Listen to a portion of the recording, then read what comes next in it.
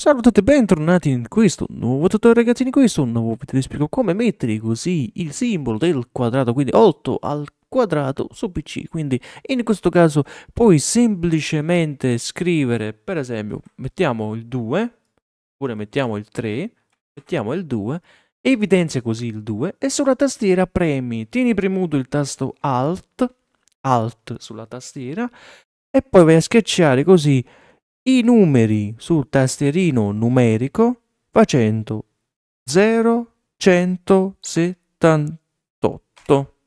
Ok? Alt più 0, 178. Questo era il primo metodo. Come secondo metodo c'è il character map. Map caratteri. Ed eccolo qua. Ed ecco il 2. Ed ecco il 3.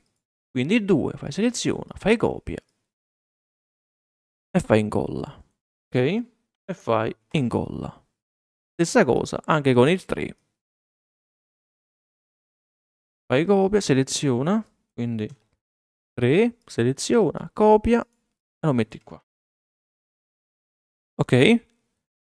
Quindi, se questo video è stato utilissimo su come mettere questo simbolo al quadrato sul PC, iscriviti, lascia like e noi ragazzi ci vediamo ad un prossimo tutorial. Ciao!